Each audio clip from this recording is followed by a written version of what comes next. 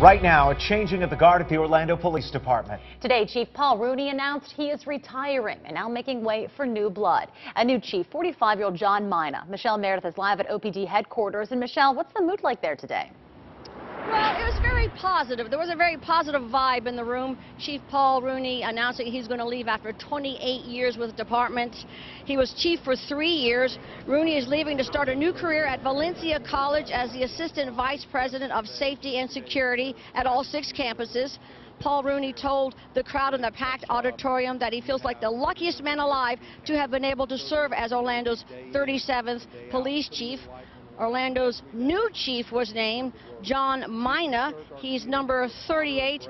He's been with OPD since 1991, 23 years. This is the only civilian police department he's known, worked with everything from criminal investigations, from SWAT to bike patrol.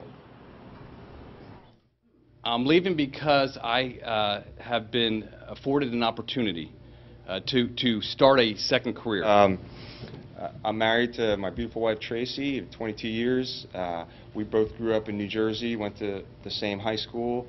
Uh, I went away to uh, the United States Army and served uh, in the 82nd Airborne Division for three years.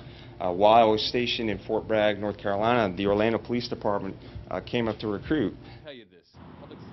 And that's when he started working at OPD. Chief Mina has two sons, 16 and 19. The 19-year-old wants to be a firefighter. The new chief says he wants to tackle property crimes in Orlando. Live in Orange County, Michelle Meredith, WESH 2 News.